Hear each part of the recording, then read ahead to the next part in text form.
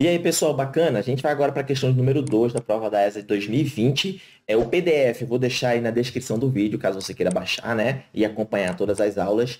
É, eu achei bacana alternar aí entre as provas de as mais recentes e as antigas, para aqueles alunos ou alunas que estão iniciando os estudos, é, ou seja, entrando na parte da matemática básica, e também para beneficiar aqueles que estão é, já aí na, na, na reta final, né? Fechando o edital para fazer a prova da ESA. Tranquilo, pessoal? Então, eu vou já mostrar a primeira questão aqui melhor. A segunda questão, a primeira eu já resolvi anteriormente. E ela diz o seguinte, ó. Se, então temos duas sequências ali. 40, x, y, vou até colocar aqui, ó. 40, o x, o y e o 5 formam aqui, ó, uma PA, tá? Ou melhor, uma PG de razão Q. Então, isso aqui é uma PG, pessoal. Ó, isso aqui a gente tem uma PG. Então, isso aqui é uma PG de razão que, vamos guardar essa informação. Outra informação que tem ali na questão, ó, que, então tem outra progressão ali, ó, que 8 menos A é 7 meios e assim sucessivamente formam uma PA. Então, observe que ele conseguiu concatenar uma, uma, uma progressão com outra, né? Porque esse que aqui, ó, ele é a razão da PG. Então, uma, uma questão tá, tá meio que é, entrelaçada ali com a outra, né? Vou até apagar aqui, ó, melhor esconder a minha, minha imagem aqui, para a gente continuar e ter mais área para resolução. Pessoal, olha só que bacana.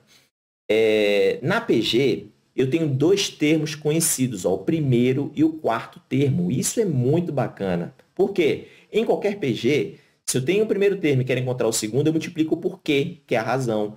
Se eu tenho o segundo e quero encontrar o terceiro, eu multiplico por quê também. Agora, se eu quero partir do primeiro para o quarto termo, ó, eu multiplico por quê, que e que de novo, ou seja, três vezes. Então, o 5, que é o quarto termo, ele vai ser o primeiro termo, que é 40, é isso que a gente aprende lá na PG, vezes que uma vez, que duas vezes e que três vezes. Então, deu três saltos aqui, ó.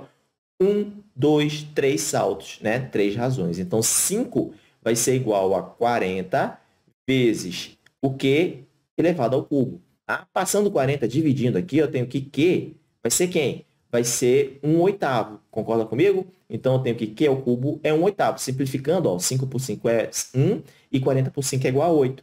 Então, com isso aqui, eu tenho o seguinte, que Q ele vai ser a raiz cúbica de quem? De 1 oitavo.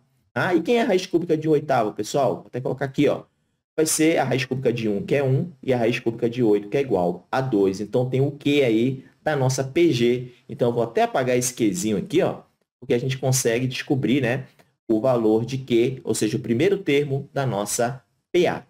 Em toda PA, é muito bacana a gente lembrar disso, né? Porque a gente pode ter duas saídas. Ó. Vamos imaginar que isso aqui seja uma PA. A, B e C. Então, a gente vai ter uma razão aqui que não importa agora. Mas em toda PA, quando eu tenho três termos seguidos aqui, pessoal, existe uma propriedade que diz o seguinte, ó, que o B, esse carinha que está aqui, ó, o B, ele vai ser a média aritmética dos termos que estão ao seu lado, ou seja, do A e C. Então, A mais C dividido por 2 vai ser igual ao B.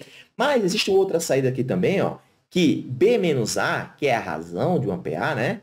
B menos A vai ser igual a C menos B. Então, eu tenho essas duas saídas aqui para resolver essa questãozinha aqui, porque o meu objetivo é encontrar o valor de A. É isso? Então, eu vou fazer o seguinte, eu vou pegar isso aqui de cima. O segundo termo, que é 8 menos A, menos o primeiro, que é um meio, isso aqui é a razão. Vai ser igual a 7 meios menos 8, ó, vou até colocar entre parênteses, ó, 8 menos A, porque é menos toda essa expressão, não é menos o 8 apenas, né? Menos 8 menos A. Tá?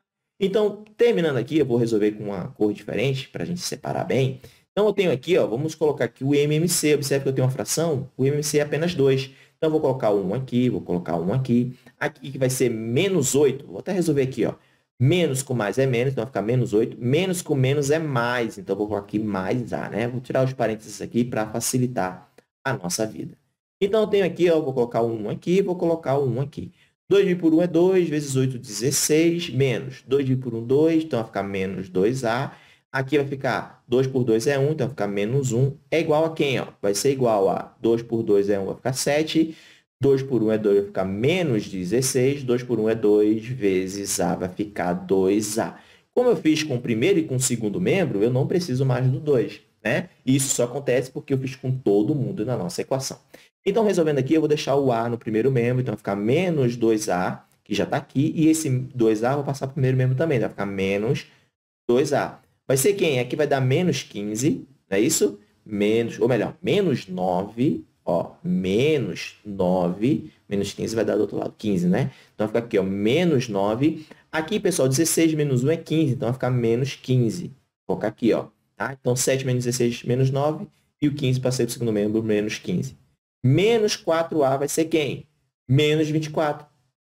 Ou seja, o A vai ser o menos 24 dividido por menos 4, que vai ser igual a 6. Então, com isso, eu descubro o valor da nossa é, questão. Né? Ele pede valor de A. Então, vamos ver se está certo. Seria exatamente a letra D. Então, observe que aqui a gente tem uma questão bem elaborada, né? porque ela traz aí, é, dificilmente cai uma questão, pessoal, é, de PG na prova da ESA, né? Mas veio o APG junto com o APA, então ele concatenou as duas sequências de forma bem interessante, né?